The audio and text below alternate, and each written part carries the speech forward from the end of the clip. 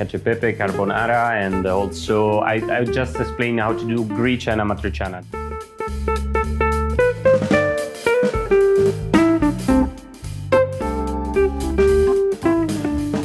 So we remove the skin.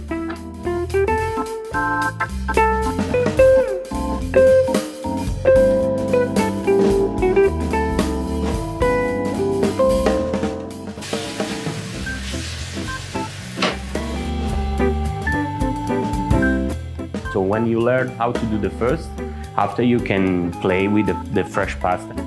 It's very important to use the fresh pasta and the stick on the pasta.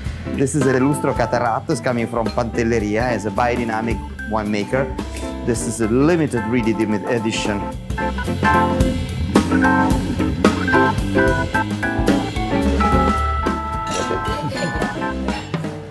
Create a like um hole.